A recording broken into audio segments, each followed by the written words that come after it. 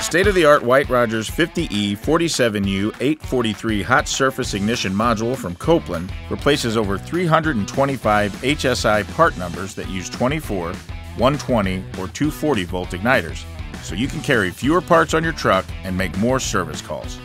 This module can control an inducer motor and monitor a pressure switch. Hot surface ignition modules can be found in pool heaters, water heaters, unit heaters, infrared heaters, gas furnaces, boilers, and cooking and laundry equipment. Simplify setup with the White-Rodgers Connect app by quickly configuring the module without power before you install it, even from the comfort of your own truck. Plus, you can enter the replacement part number to configure to hundreds of preloaded OEM settings. No more fiddling with dip switches.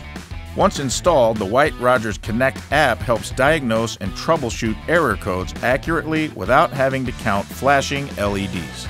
The easy to read onboard digital display provides an alternate method for configuration and diagnostics, checking operational status, and getting a real time flame current reading. The clever install harness offers trouble free conversion of the old board wiring to the new control. Add an integrated thermostat sensor, sold separately, to maintain temperature without the need for an external thermostat in infrared and tube heaters. Reduce inventory, save time, and increase profitability by having the right part on your truck every time with the 50E 47U 843 hot surface ignition module and other White-Rodgers universal replacement parts.